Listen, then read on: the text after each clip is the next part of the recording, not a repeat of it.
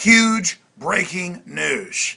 We have a publication that Barack Obama put out where he was bragging that he was born in Kenya. We have his wife on video twice saying it.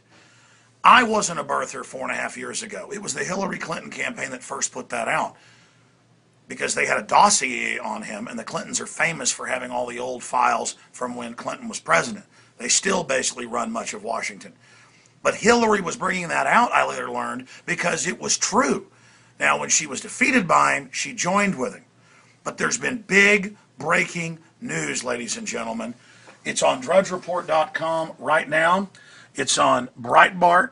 Barack Obama, the first African American president of the Harvard Law Review, was born in Kenya and raised in Indonesia and Hawaii. That's actually what the research shows. And what is this from? It is from a book uh, promotion put out by his literary agent that Barack Obama approved of.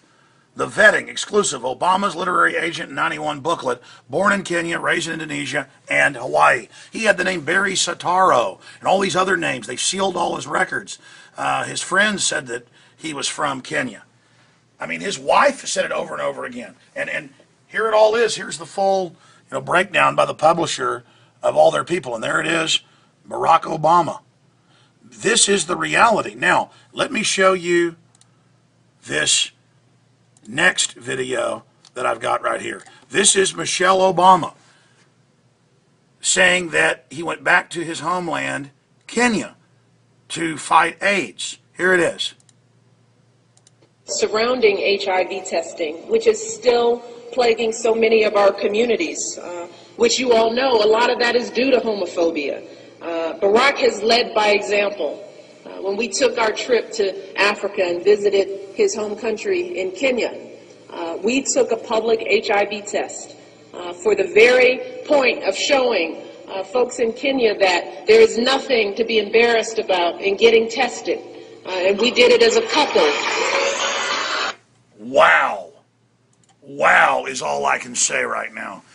Listen, my listeners demanded I look into this. And first they said that the old uh, birth certificate was the birth certificate when it was a receipt and printed off a computer. Then they put out that bad fake, which was fake. I want to put this to bed. Obama's funded by Goldman Sachs and the globalists. Obama is launching wars of congressional approval. Obama is launching drones in the skies of America. I want to go after him on, him on the issues. But the point is, it's true. He's not who they say he is. It turns out uh, the book about him that they put out is basically all fiction and has been proven to be a lie.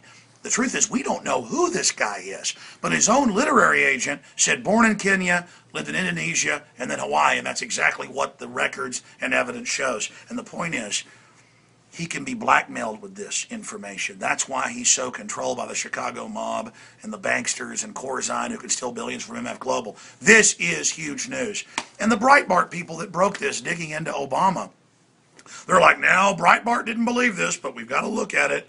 This is incredible. This isn't some typo where they say, you know, some word is wrong or get his mom's name wrong or something. This was put out, vetted publicly, and that's why all his other records are sealed. He's got all these other names. It's incredible. Look into it, ladies and gentlemen. We'll be covering it tonight on the Nightly News, 7 o'clock. We're trying to get Dr. Corsi uh, on about this. And, of course, on the radio tomorrow, 11 a.m. Central, Infowars.com. Get this out everywhere. Added to the pile of evidence, this is the smoking gun. His own literary agent, born in Kenya. His grandma born in Kenya.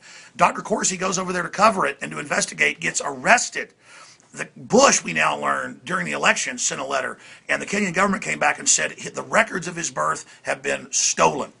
That document's public. Well, it means he was born there if the records were cut out of the files. Ladies and gentlemen, Barack Obama is a total, absolute cutout. He is a Manchurian candidate.